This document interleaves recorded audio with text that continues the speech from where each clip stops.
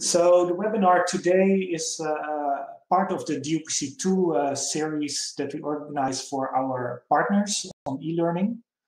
And we had several webinars before on uh, open education, on um, uh, distance communication and distance teaching. And this one uh, is a specific one on open educational resources with the title Open Education Perspectives for Water Resources with examples from GIS and hydrogeology. And uh, I'm very happy that uh, we have as a guest uh, Saul Montoya from uh, Hatari Labs. He makes great tutorials that are uh, you find a lot on social media, uh, free webinars on all things that have to do with groundwater modeling and the use of Python, for example, and Modflow. Um, so it's about open educational resources. And first, we also handled that in the previous webinars. It's a question about what does open really mean in, in open education, uh, open access and these things. Well, it means that uh, a piece of data is open if anyone is free to use it, to reuse it and to redistribute it. Um, and that means that there can be only very few restrictions to that. And um, there are only two restrictions according to the open definition that you can ask to attribute so who made it, which person or organization. And you can use um, share alike. To attribute means that you have to refer to the organization or person. And share alike means that uh, everything that you derive from the material should also be openly shared in a similar way, with a similar license. I'll not cover licenses in this presentation. I did that in another webinar. So open education has different uh, products. Uh, we have MOOCs, we have webinars, and um, all kinds of other open access materials. And of course, we do that because our core business is to, to share uh, knowledge. But I want to go a bit deeper uh, into uh, why do we want to, uh, to share knowledge openly and uh, what are then um, the, the results of that what, that we can use. But let's first of all check the definition of open educational resources. So strictly, it's any freely accessible openly licensed material, text, media, uh, digital stuff that uh, are useful for teaching, learning, and assessing, as well as for research purposes. That's the official uh, definition. And basically, it's publicly accessible materials that uh, users can use, reuse, improve, redistribute. Now, in this presentation, I go a bit uh, further to not only have the, the completely open ones, but also the ones that are have a few more restrictions like non-commercial use or that you just can view it on the internet, which is also very useful. So why uh, open educational uh, resources? That's the main question. Of course, we want to, in our organizations as a knowledge institute, we want to um, disseminate our knowledge as widely as possible. But open educational resources are particularly useful to increase our visibility as our organization, but also to increase the visibility of uh, specific experts who disseminate that material, like uh, Saul and me are doing. Uh, in that way, we can increase impact because many more people can use it. And we can get feedback from a wide audience on uh, our materials and their interests. I will go into more details on these different aspects. What is also very useful is to create uh, or to be part of a certain community. So uh, if you're into uh, GIS, you can be part of a community dealing with GIS or particular GIS, open source GIS, or particular tools like QGIS. Um, and the open educational resources also give you um, access to a different audience because in our institute we have a certain audience that uh, that come to study with us or go for short courses. They uh, can apply for scholarships. Uh, so that's based on different criteria than the people who are just out there finding open educational resources and uh, they have different backgrounds. And that's interesting to know. Um, I'll also follow up on that later. And then open educational resources are quite easy to make because you can open up parts of existing materials that you already use in e-learning. So certain videos, certain uh, tutorials that you already made. It's easy to implement without an e-learning infrastructure. You can use infrastructure that's out there on, uh, on the internet. So uh, you can use platforms like, uh, like YouTube or Google Drive. I'll talk about that a bit. Um, so it uh, expands the access to learning, uh, not a specific registration database that you need to set up, but you use popular tools. It can be in any format. And it's a very rapid way of uh, disseminating because there's not much regulation on it. You don't need to give credits or diplomas. Uh, from the side of the user, it's cost saving. So for lifelong learning and uh, keeping yourself up to date, uh, that's very useful for your participants who uh, access the open educational resources. And then uh, another important aspect is that it's uh, more and more getting a requirement from a government or a donor, if you're a knowledge institute project funded, that you disseminate as open educational resources. Now it has to fit also with your business model as your organization. And uh, I've explained the business model also in other webinars. I'm not going to repeat uh, the whole theory behind this. You can, you can look that back. But the essential is that with the different materials that you produce as, a, as an educator, um, you have different rates and different amount of participants that can uh, use it. So for the free materials like open courseware and open educational resources, you have many participants that can use it and it has no cost. The assumption is that that's very accessible and useful for people who don't need support because it doesn't come with any support. It also doesn't come with a diploma or other things. It's just as it is. That's also the big disclaimer with open materials. No expectations, it's just as it is. But we know from our experience that many people need um, support in different ways or a different product than just having a video videos out there on the internet or the, the tutorials. So you can present things nicely in a book, especially for computer courses. Books are still uh, popular uh, as hard copy also because then you can have it next to your screen where you do the exercises. Um, many people buy still uh, books, very good. And then there's the online course where you also provide support and you can provide a diploma and course credits. There's uh, short courses that can be face-to-face where people come uh, to your institute and uh, meet you as an expert. Then we have tailor-made trainings. That's for specific organizations asking you for specific uh, training materials to develop, which is state-of-the-art, and they come with a budget for that. That's the most interesting part um, from uh, R&D perspective, if it's about uh, development of education. And then there's the master programs that you might give in your uh, knowledge institute like a university, um, where the, uh, less people are following those materials, but uh, they have access to the full uh, the full scale of, uh, of the educational product, including uh, diplomas, face-to-face contact, credits, etc.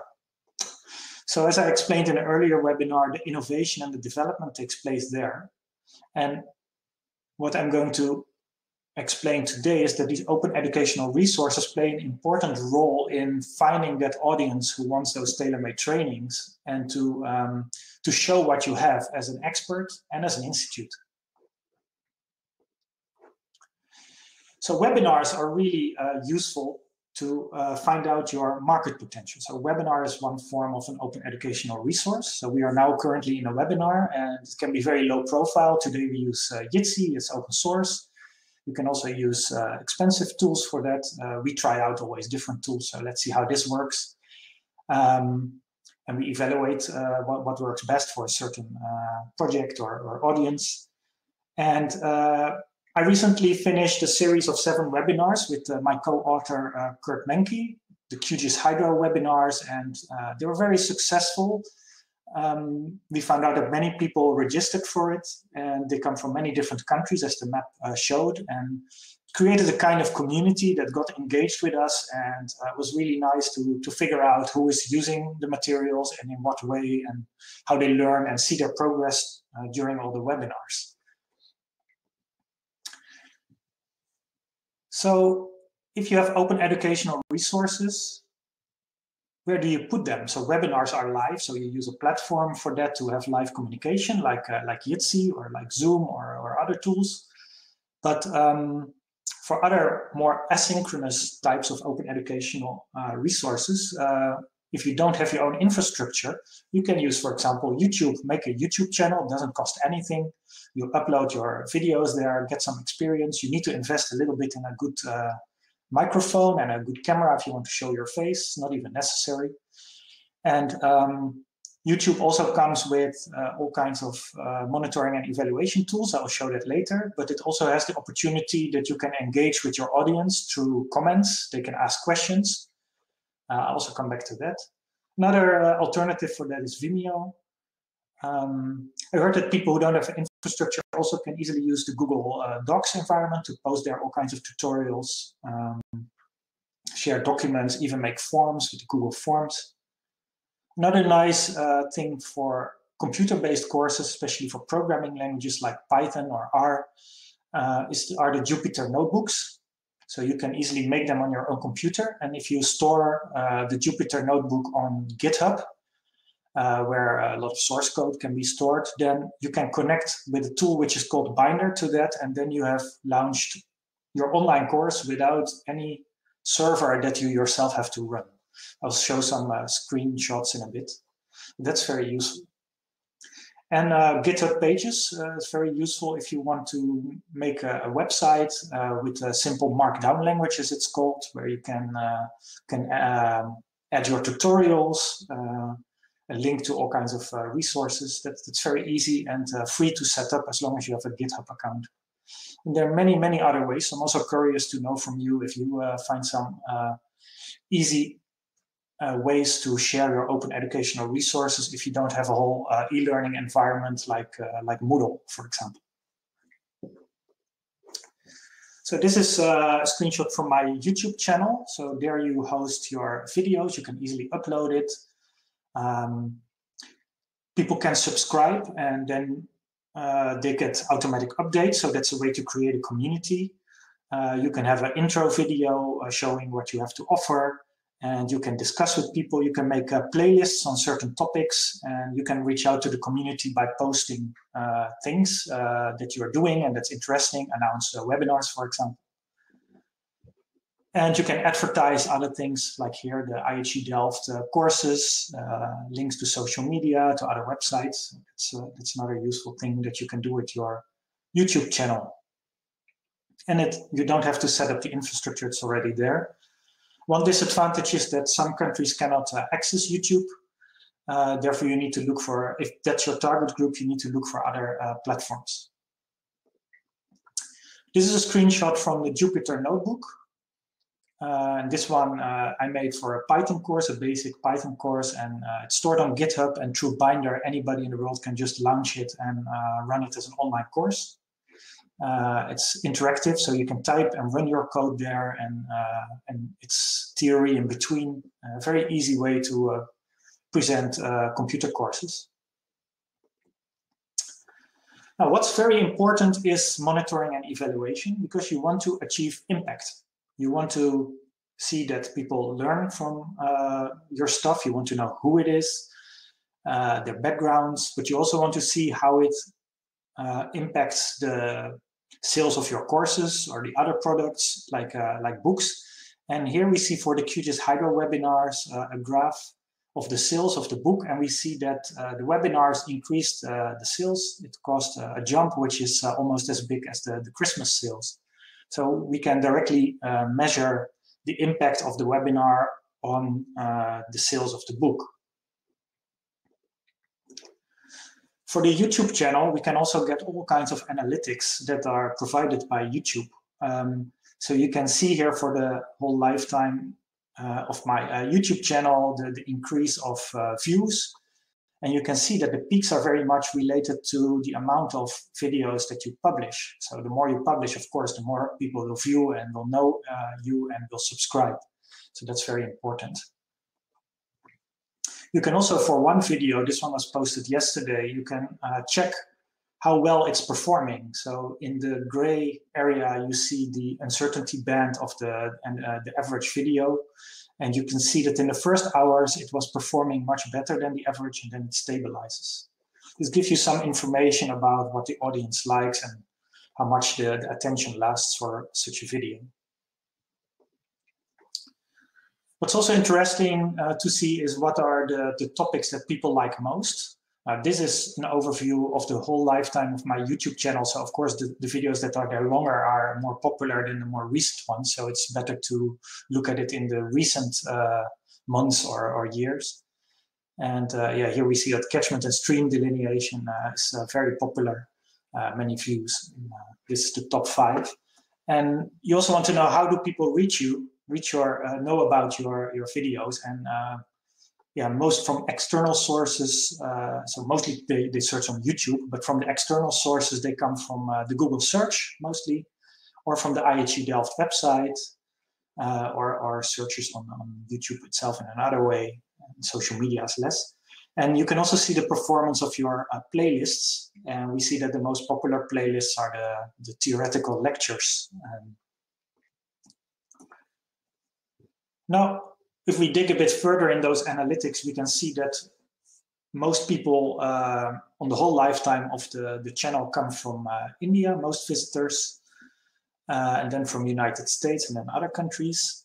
We see that the gender balance is not uh, not okay. Uh, any suggestions to improve it? I'm welcome uh, welcoming that, but most are male, and so based on this slide, we can say most of them are Indian male of around 25 to 34 years. That's quite some information about your uh, target group that you're reaching with these videos. And then you also want to see how does your open educational resources impact the visitors on your open courseware platform, like we have at IHE. And we can see here a peak that is caused by uh, a MOOC from AFRI Alliance. And here a peak that is caused by uh, an earlier webinar that we gave. So it's important to, uh, to measure. So there's some good practice advice. So be aware of your business model. How do your open educational resources fit in your business model? It's mostly a marketing tool and to show people what you can do in a very easy way. You need to monitor and evaluate to find out uh, who your target groups are, what are popular topics, devices, etc it's a good advice to work with registrations or subscriptions because then you also know um, who are uh, following you and you can also reach out to them and give them updates actively. This is an important one. You need to find a balance between uh, your personal outreach as an expert. So I have my personal YouTube channel, but I use it as marketing for IHE Delft products. Uh, and uh, that goes well, I would say, because that's a win-win. But you always need to have, uh, I think, a good discussion about this uh, on where the balance is, and, and uh, depends a bit on how much you can trust people to uh, to do that balance in a good way. It's the same with you publishing a book. You know, you can publish a book on personal title using all your IP that you gained in your organization without mentioning the organization, and that's of course not a really good thing. And I think it's very important to build a community around your educational materials. So you know uh, that that will give added value to uh, to both sides. Now, some challenges about, or good things and challenges about interaction with users. I made here a scale from green to red, and uh, I'll put on the screen some uh, uh, comments on uh, on the YouTube channel. And you always need to think what does fit with your your aims, your business model, what you want to achieve, and what doesn't. So of course, what gives very much uh, uh, energy are, are compliments. What really does not give energy is um, yeah requests. So next webinar on flood analysis, please. Yeah, that's you know we also uh, do do consultancy and we need to develop things and it costs us time. So uh, re requests with very broad topics are not very helpful. If you want to know something specific, and then you could, in a kind way, of course, ask it. So this person asks about uh, something in detail about a video, how you determine some thresholds. Now, that's a really good question that you can simply answer. You also hope that people help each other. I don't see that happening much. So most mostly I'm answering those questions. Um, this one, uh, yeah, again, a, a, request and also about the quality of the video. But yeah, if you put your comment one minute after uploading, then uh, even YouTube is not fast enough to put it in HD quality. So people also need a bit patience with you when you do that. Uh, here's somebody who, uh, who asks uh, basically an uh, exam question or an assignment. So you need to be very sensitive to that and don't go into that too much of helping people out with the problems they have at school because that's not your job.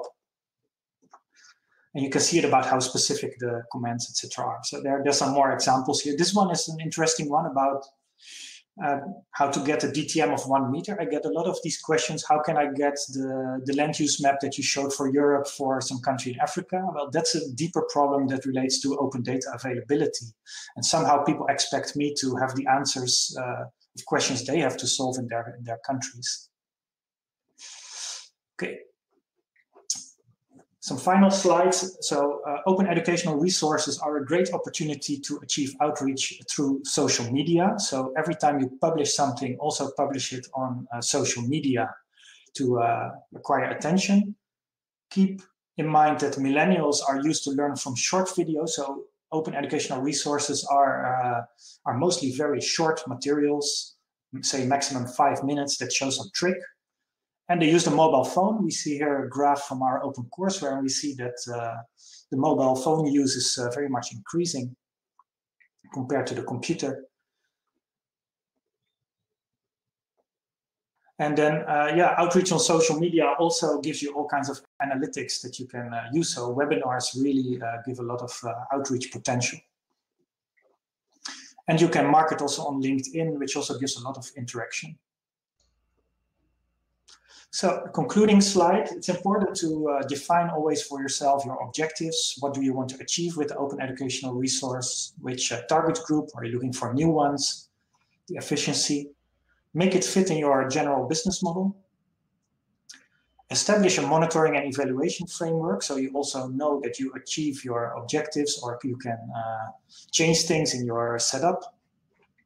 Marketing through social media, very important find a balance between personal and organization outreach. And of course, dare to share. Don't be afraid to share. And normally I end webinars with uh, GeoBeers.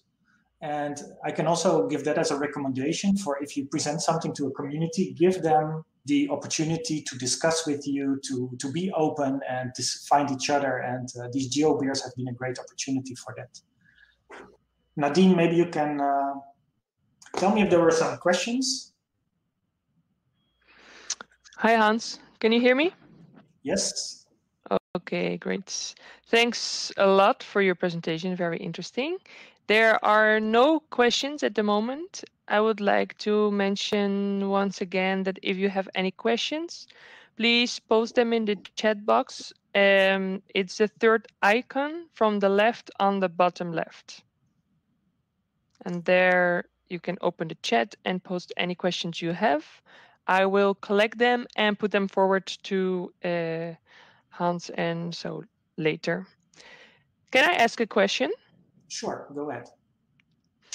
I was wondering, because you're sharing a lot of information with uh, others, what have you learned yourself from doing these exercises? Two things. I learned how to make open course or open educational resources. That's already very important because when you start with it, you're experimenting quite a bit with that. But content-wise, you learn a lot from uh, that group that is following your stuff because some are really uh, innovative and really ask questions that you think, hey, I need to figure this out, and uh, or even find mistakes and help you improve your material. So there's there's really a win-win there. Okay, great. Thanks. Um, well, I would say continue. I would like to encourage once again people to post questions in the chat box, also experience they have with this kind of exercises, um, challenges, uh, positive things, everything you would like to share. Thanks, okay. Nadine. Uh, then we can give the floor to uh, to Saul. Go ahead, Saul. Okay. Hi, do you hear me well? Yes. Yes, okay. Okay, it's nice to, to be in this webinar. Thank you, Hans, for the invitation. Uh, I will talk about my presentation that is, okay, hope. Um, well, my part of the presentation of Open Education Perspective for Water Resources and examples in G from GIS and hydrogeology. Um, okay, about us. GIDA Hatari and Hatari Labs are two platforms for knowledge sharing in Spanish and English. We use extensively the social media and web resources. We provide education based on open source software. So that means no more change to the students. And we develop content and tutorial based on the latest open, source, open software releases. On the history, gidahatari.com has more is more than eight years old, while Hatari Labs is, is has only three years old. It's only three years old. Both are websites. Both, in fact, are websites of a consulting company. So in the end, we are a consulting company. Um, we develop at the beginning we developed social network and events but only in peru and in 2016 we started to give online courses and with always developing tools. I mean, there was a lot of experiencing here. Purpose. A university is an institution of higher education. By why a website should educate in applied tools for water resources? First of all, we love what we do, and we are convinced that better education will create better water resources professionals and better professionals, we contribute to a sustainable water resources management. And okay, this is the main purpose of why we post tutorials. And because it's profitable, in the end, it's a good business model.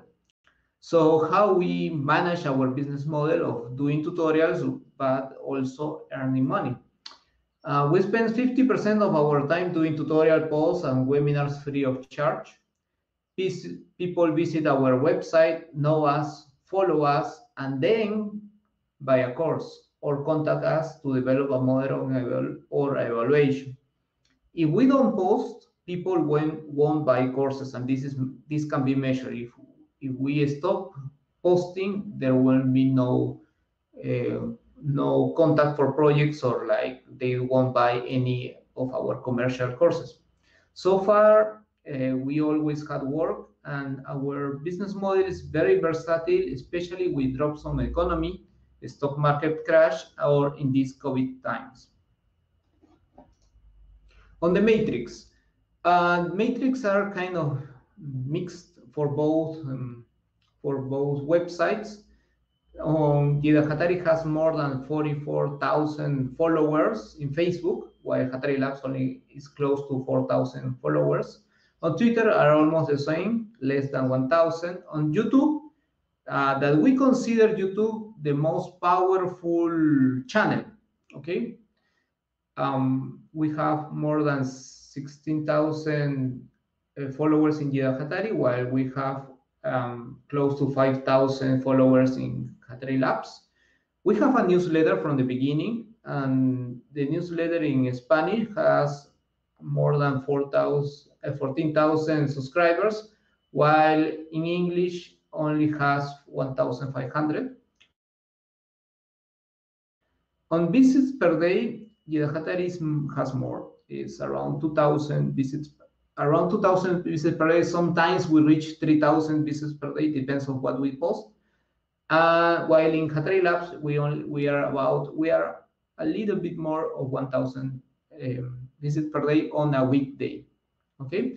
On total web sessions on Hatari, we have around 3 million web sessions, while in Hatari Labs, we only have half a million. Mm -hmm. Okay, let's talk about open education. Education is the process of facilitating learning and the process of acquiring knowledge, skills, and values. But how we educate? Uh, we educate through posts, through tutorials, through webinars, and through courses. And let's talk about open education. I mean, for us, what is open education? It's a synonym of learning by yourself. Open education has to be always online. How we change the attitude, the attitude of professionals towards open software? And how can we motivate professionals to learn new stuff independently of receiving a certificate or a diploma? How can we prove the quality of our material? And how can our education can make changes on water resources management? On the education topics, uh, water resources is a vast topic, but we develop content mostly on groundwater modeling, spatial analysis, and computational fluid mechanics. These are the topic, these are the themes of most of our tutorials. There are other interesting topics that need another websites like water supply, water treatment, hydrological modeling. Okay, there are still uncovered topics in water resources um, to, that have, that need some interesting websites. Okay, we believe content-based education. Uh, we content can be improved with rich media and YouTube and, or any video improve the user experience and the concept understanding. Okay, um, this is a final remark. Success of online education is the environment creation for a learning experience. Everything that we gave through the website, videos, and rich media only helps, only creates an environment because it's the student that is the one that will acquire knowledge. We are only a tool for that. Um, is um, on the development of this presentation, uh, we came from we came to this to this question: is is education an experience? And maybe it is. We we we couldn't answer that clearly, clearly but we we have to create an amazing experience to give value to the content. I mean, uh, we we need everything is related to the experience. We need.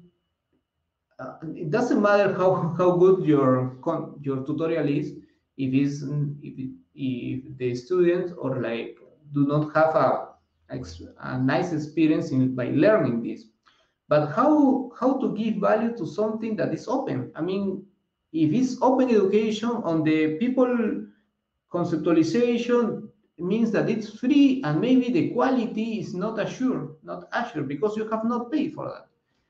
And we we give we can give value to the content because it's clear or because it's well explained and we can give value because it can be applied to common problems and because of the passion we devote in developing this content and this is a new topic we have we if we want that people follow our tutorials we need uh, is you really need to put a lot of passion on what you do.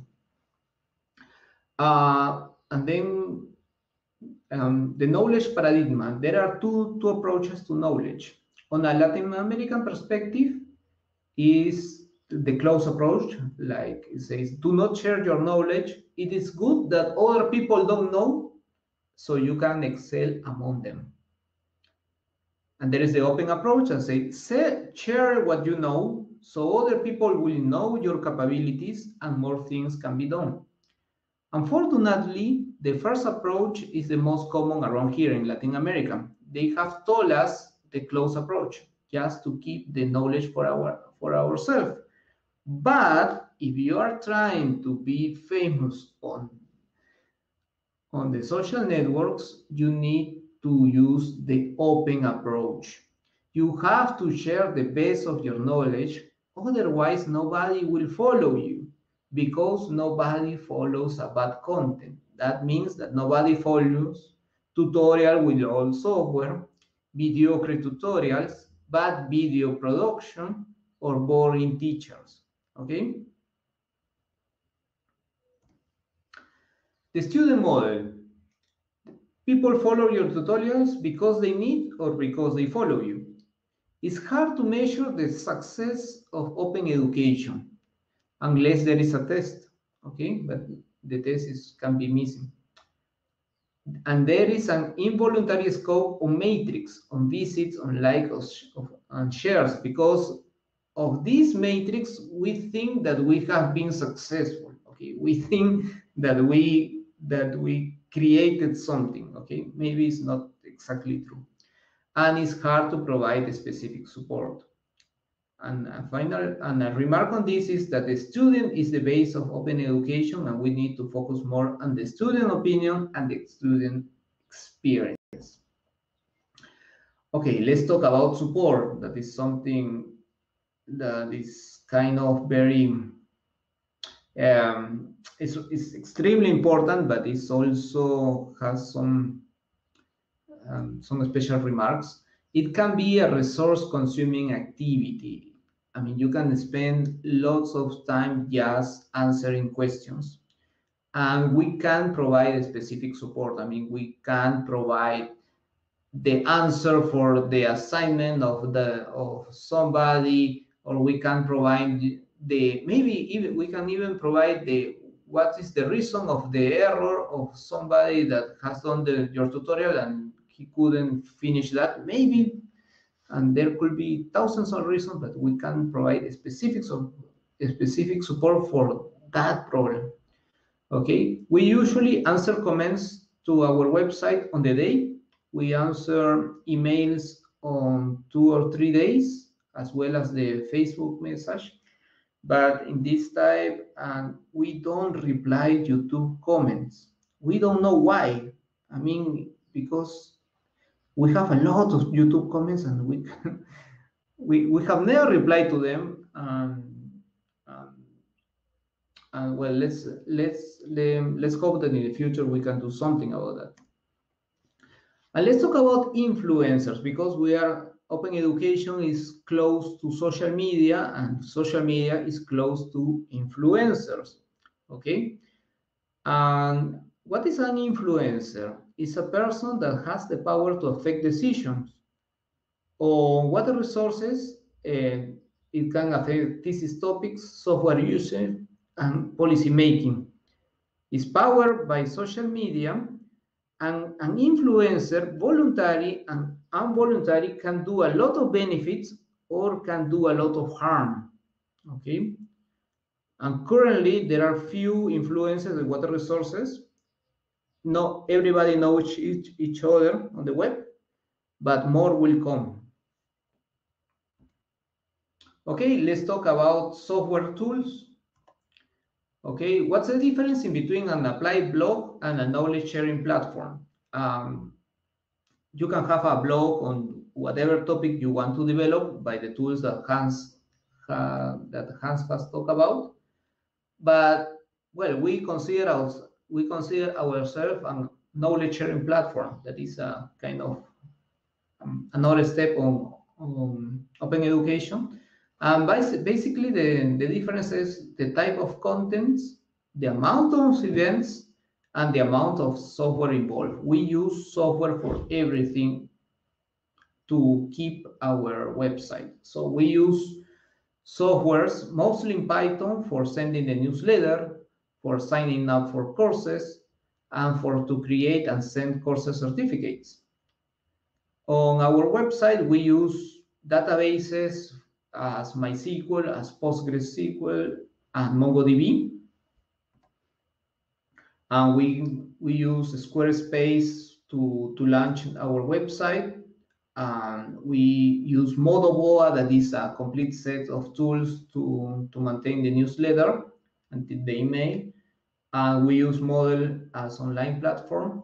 And we are about to launch a question and answer website for open source software. So, I mean, this will be, I don't know if you know Stack Overflow. Um, well, we are going to launch something like Stack Overflow, but for water resource, open source, open software in water resources. Because it's needed. I mean, like there is no central part where you can put questions. Okay, this is a topic that I talk that I talk Hans that is really new. That is what is a webinar on demand. This is something. Um, sometimes we create tutorials on demand. So a guy send put a post a comment or send an email and say, "Hey, why don't you create a tutorial on this topic?" Okay, and say, "Okay, this is a good idea." Okay, we learn as well from that. But it's also but it's also possible to deliver classes on demand.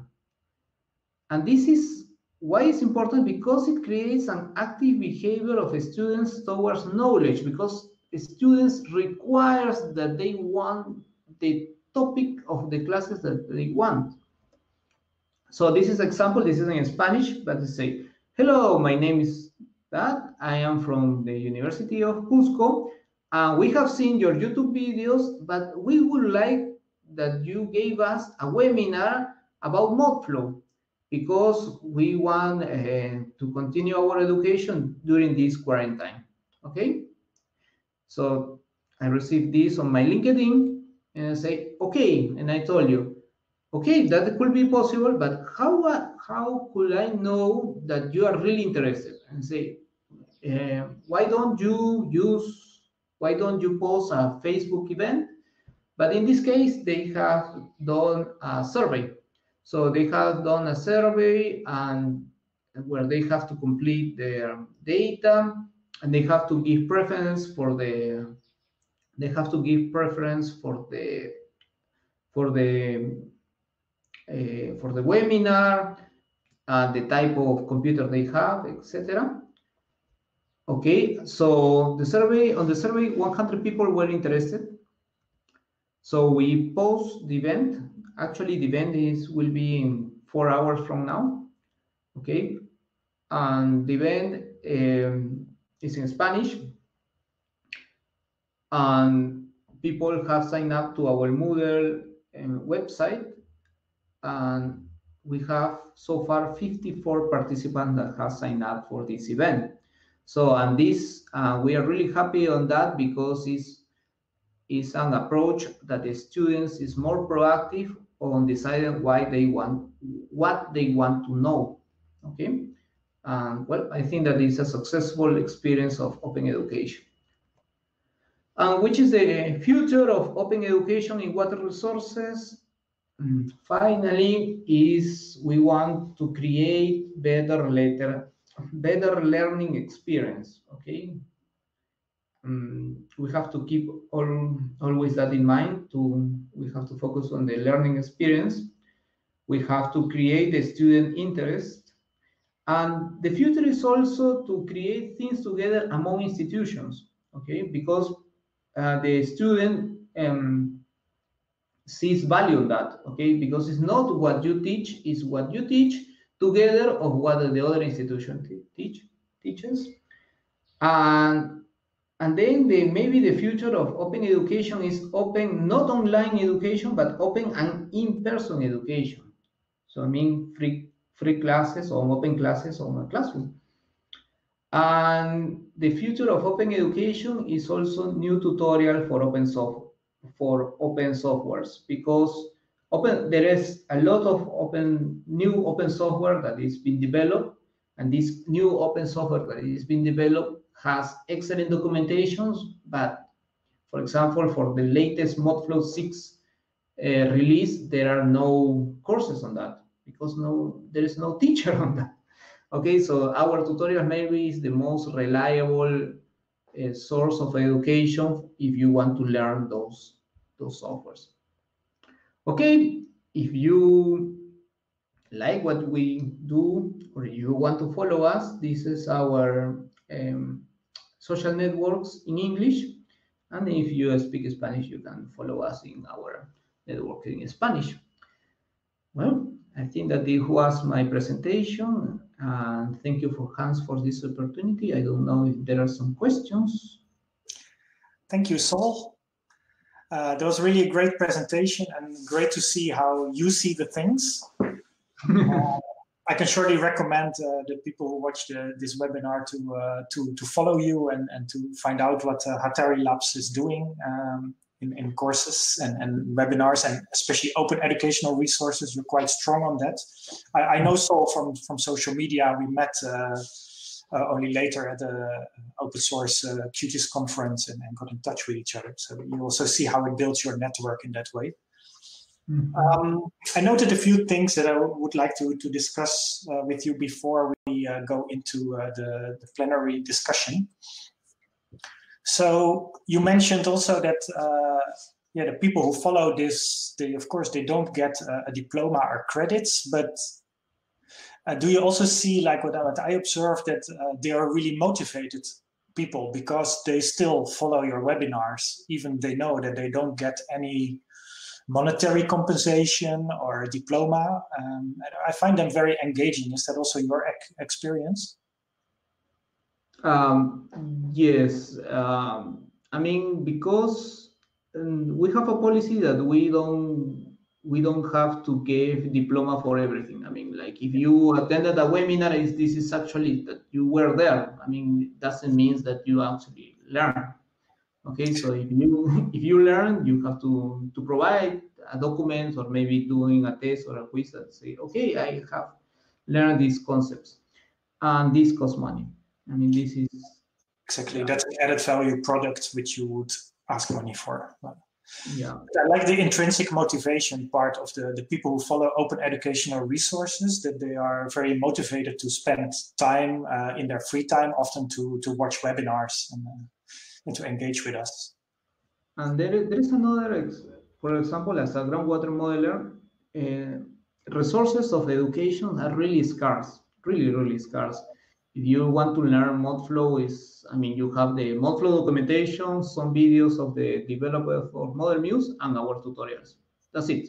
There is no, yeah. And for us, the our videos takes really long. I mean, we can have a video of 40 minutes. We can videos even with errors. Sometimes we our video is um, is split because, because I, I couldn't solve something and then I have to retake in another video. Um, yeah, but this is the only is maybe one of the scarce sources of tutorials in, in English and in Spanish.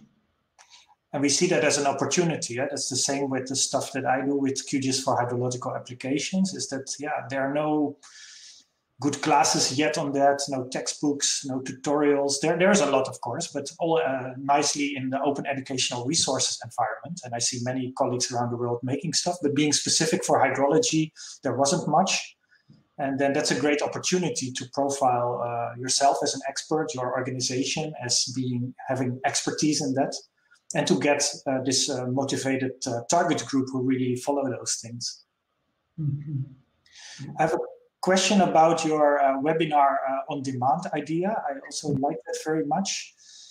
Um, so how do you see the, you, you have now experienced with it and today you will have such a, a webinar on demand. So uh, probably you still have to learn from how that goes, but how would you operationalize such a thing? Because now it was an email that came in and I also receive a lot of these emails and some you think, okay, let's do it. And for others you think, let's don't do this. Um, so how what are guidelines for that? Um, in order to, to, I mean, which is the decision tree of making or not making the, the yeah, criteria that you have? Uh, yes, it cannot be from, um, it, they have always to present that they represent a group, like a group of students or maybe a university or something like that. I mean, if somebody appears by their own, maybe we won't create any webinar on that. And most of the webinars on demand are actually topics that we know that are not well, well covered. I mean, like, uh, or maybe basic topics. Uh, I think that the, main criteria is on, is the the related group that are asking for this course. This is, yeah. this is the main uh, idea. I find that also important because uh, a question that is only interesting for one person does not give you enough uh, justification of spending time on figuring out things and recording a video. And also you are quite sure then that not many people will watch it because it's too specific or too general. Yeah. Mm -hmm. Yeah. Uh, Nadine, are there any questions from the audience? Uh, no, not in the chat box. I don't know if you want to give people the opportunity to unmute themselves. You can use the raise hand functionality so we can see if there is uh, questions. Uh, meanwhile, I, I still have a few more questions uh, yeah, that I think are interesting. So if you want to ask something, you can use the raise hand button on the lower left of your screen, and then uh, you I can I can tell you to unmute and you can ask a question uh, verbally. Um, so meanwhile, uh, I have another uh, few remarks. I really like your idea of the Stack Overflow kind of functionality where you have a question and answer on your uh, web platform. I use Stack Overflow a lot, like many people. It's uh, for people who don't know it. It's a nice uh, platform where you can ask questions, uh, normally on, on, on software, and that people can answer those questions, but people can rate the question and the answer. So you always get close to a good answer to, to see first the answers that get a high rating. Works really well.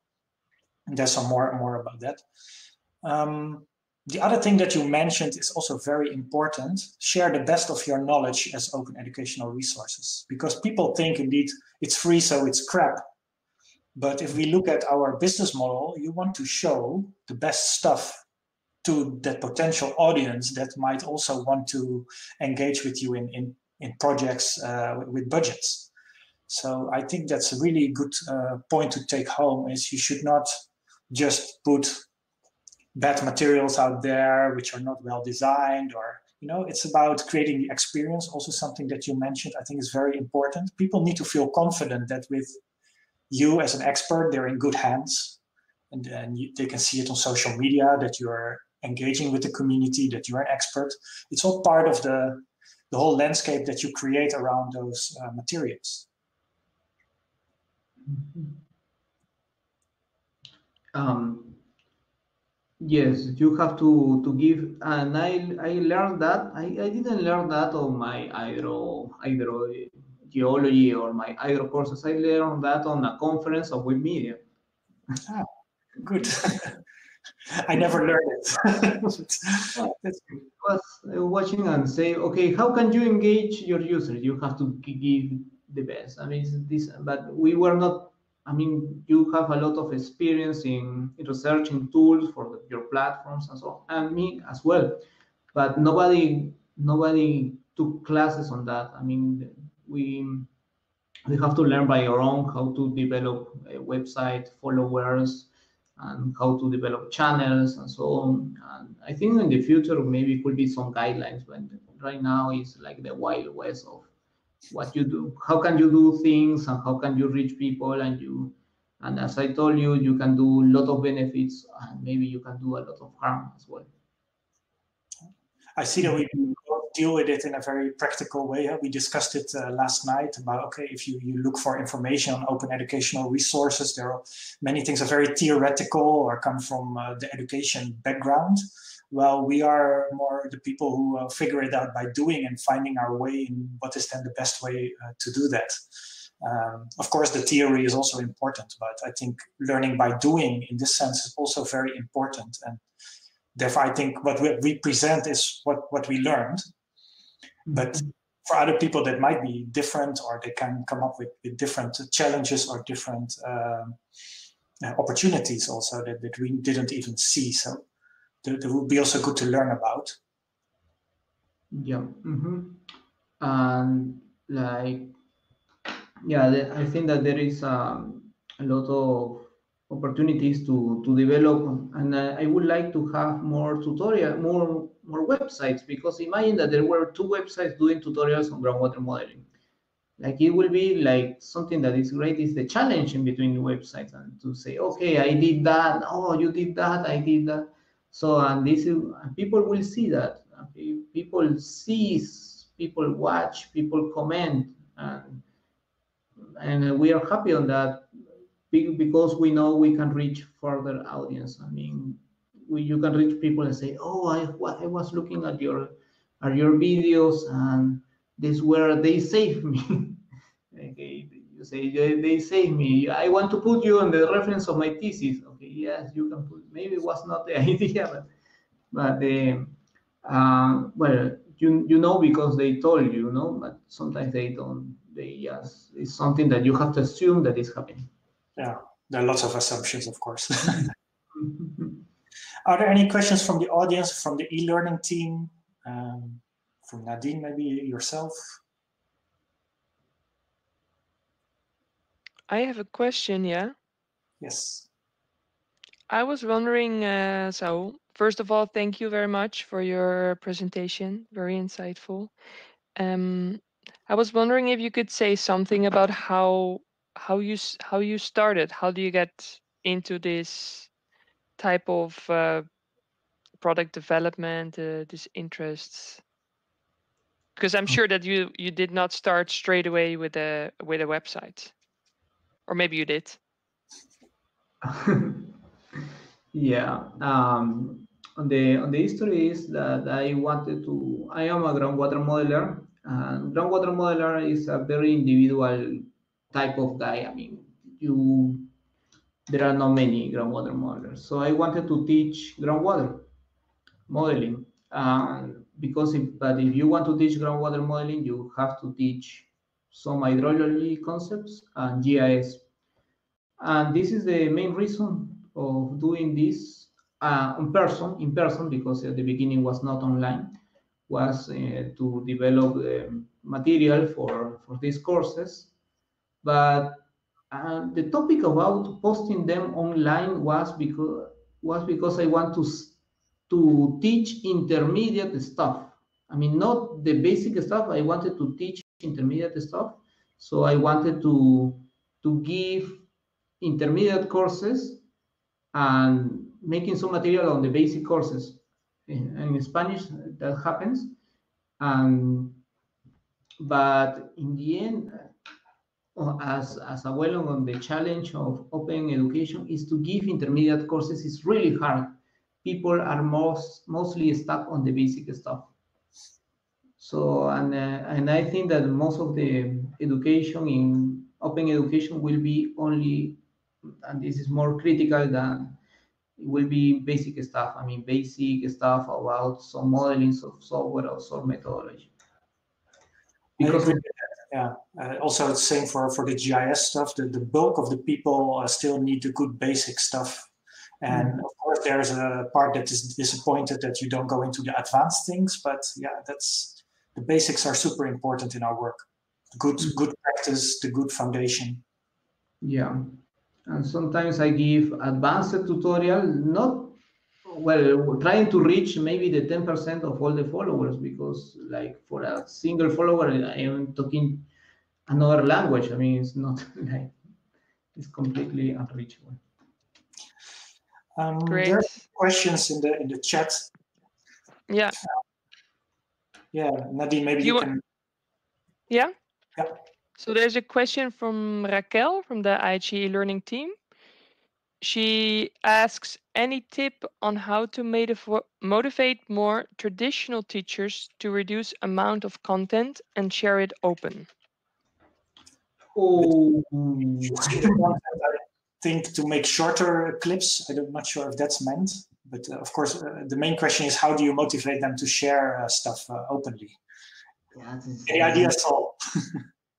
it's really hard. It's extremely hard. It's, I mean, like it, for me, it's like the same of groundwater modelers that use commercial software turning into open software. It's like it's behavioral change, which is difficult. It's behavioral. It's I mean, you you need that the classroom. You need maybe you need situation like this quarantine in order to to change of the approach because um, teachers are. I really think that teachers are on the comfort zone. They are really they they want to teach their class. They have their materials and say, why I do give this online and maybe they are afraid that if this is online, they will require less from the teacher. That's indeed a good one, yeah. I think that a good solution is motivation. You have to give them motivation. And once you are in, it's easy to stay motivated because if you look at uh, nice comments, nice feedback that you get from from people, that that's like dopamine. It's like chocolate. It's like you immediately fall in love with with the work you're doing. So that's but the problem is getting into that mode and and providing things and then uh, increase that amount. There's a addition from uh, Laura Kwak from the communication office of IHE Delft. She says, from a comms perspective, you need to show successes that others have made by doing so. Yeah, I completely Thank agree. You. That always helps. Uh, there are two other questions made by Eric without cam or mic. Yeah, that's Erik Meerburg. Uh, okay, thanks for the addition. He says, I think it is most interesting that you both see open education as part of a business model where you have more expensive other products that make this possible.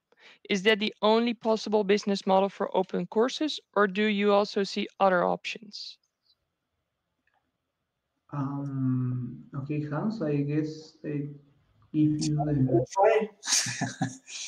I think there's always other business models possible, but this is just one that uh, that I always work with, which is not even one that uh, that I think everybody uh, works with.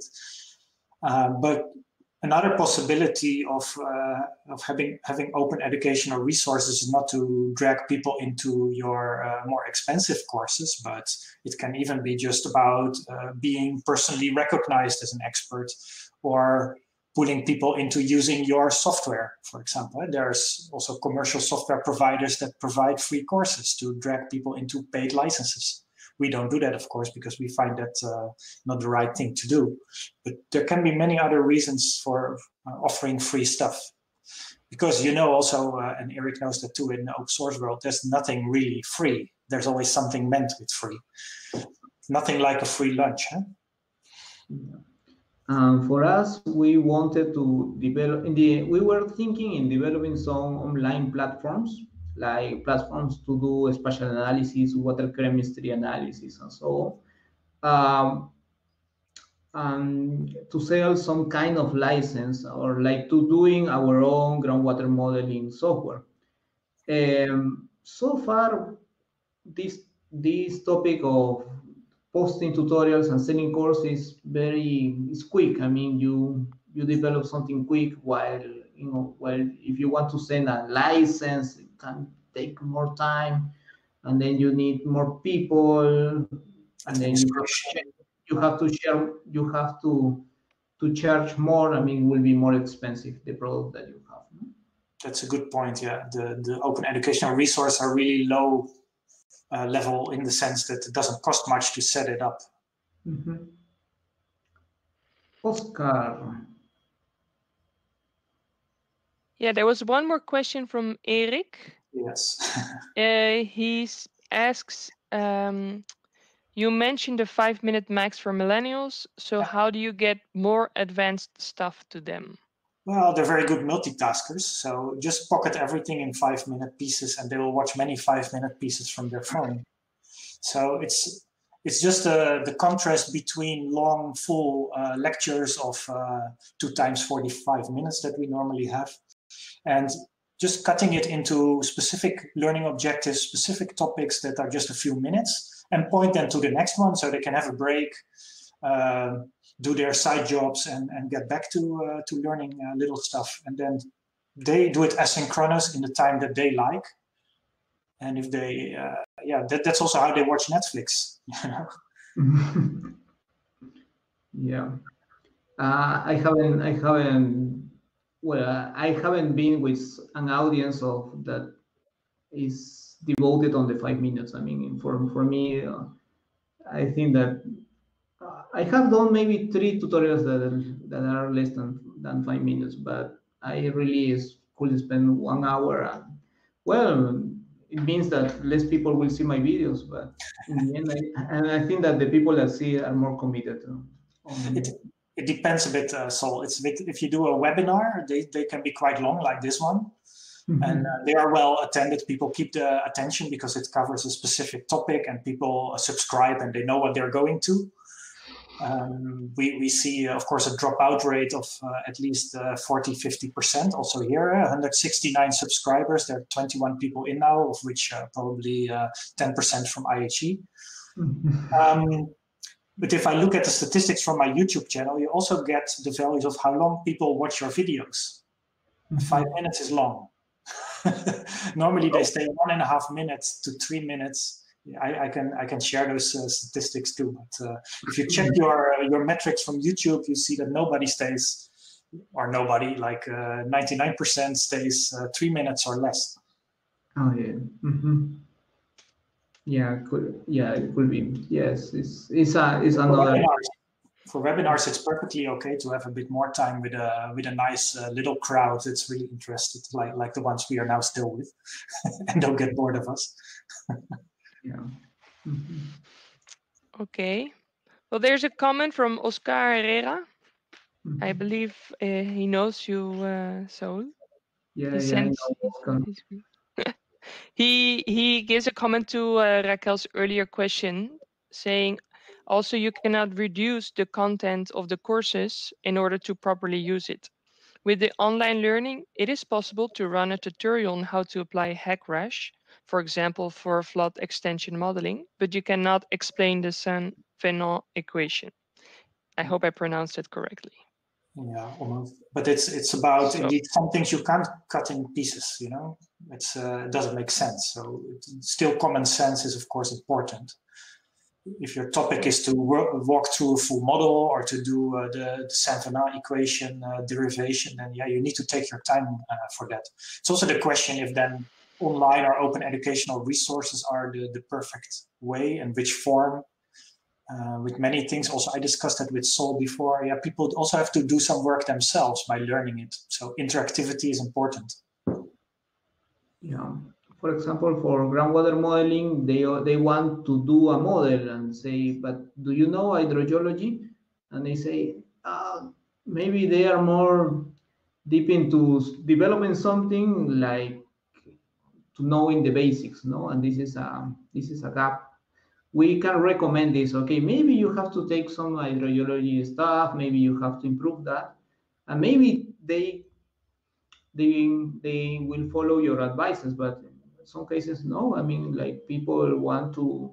For me, people appear and say, "Okay, I have three weeks to the end of my thesis, and I have to develop a groundwater flow model." And I say, "I'm sorry. I mean, there is no way. There is no course. There is nothing. I mean, you have to be realistic. what you ask is completely unfeasible, no? And like, yeah, maybe this this is this commentary is kind of an education. Say, okay, you have to be focused and you have to measure your capabilities and your times in order to deliver something. And maybe we are educating in this way as well. I see the same with face-to-face. -face, so I often get the question for tailor-made trainings, can you do one day Python and one day QGIS? Uh, you have to refuse those things, you know, because yeah, unless you have a very experienced audience that already knows how to program and knows the basics of GIS, it can maybe be useful, but most of the times it's not, and you will only get annoyed that many people uh, miss the basics. Mm -hmm. Yeah. Okay. So I think also time is up, Hans and uh, Saul. I don't know if you wanna, if you have some final closure words. Uh, I would like to personally thank uh, Saul a lot for his very nice uh, presentation and insights in how he works with uh, Hatari Labs and uh, also to be with us at this very early morning for him. So great thanks to you, some virtual applause. And uh, I really hope that in the future we will cooperate more and that we can also organize courses together. We know that it's on our wish list, so let's make it happen as soon as we see opportunity for that. Okay, really thank you, Hans. And something great about this open open courses because like you reach very interesting audience and very interesting people. And I'm really happy for that. For knowing people like Hans, for knowing other people that along the along the way that you say people, oh, I know you from I know you, and then you in the end, this is a rich human experience okay it's not so online as you as you can as you might think um, another topic of the open the open education that means online education this open and online education is uh, it can complement really well with in-person education and in-person experience as well no? and if you and if that happens for us here in lima and around latin america you gave some in-person experience and people will follow you more online. And this and this is another there's a link between the two uh, yeah. Yeah there is a link in between the two and you have to to strengthen both the online and then in person. And we hope that we can develop more uh, more things with your institution. And thank you for the opportunity as well. And well let's let's see that the that our um, things will be when things are different from now maybe we can do some more interesting things today thank you. Thank you also all the attendees and uh, uh, thanks for uh, for engaging with us. Um, we'll post uh, the video online. You'll be updated uh, about that and uh, keep in touch. Have a great day or night wherever you are in the world. Mm -hmm. okay see you. Bye -bye. have a great day. Bye bye